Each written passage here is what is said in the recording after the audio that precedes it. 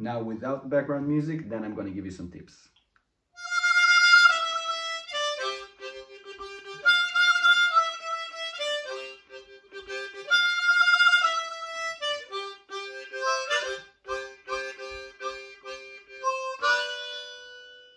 Couple of tips. First of all, if you want to play with the original song in the background, you gotta have a harmonica in the key of C. The next two tips are, first of all, in order to create this, what you want to do is to use your right hand and open and close it repeatedly. And when you practice it, make sure that it actually makes this vibrating effect. Because if you misplace your hand, you're not gonna hear it.